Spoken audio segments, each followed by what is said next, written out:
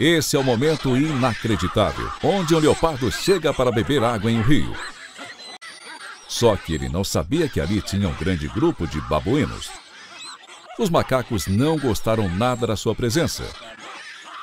Eles ficaram cercando o felino e quando ele demonstrou medo, os macacos atacaram.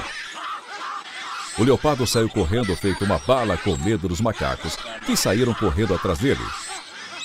Esse leopardo deve estar correndo até hoje. Dessa vez, esse leopardo aprendeu uma boa lição.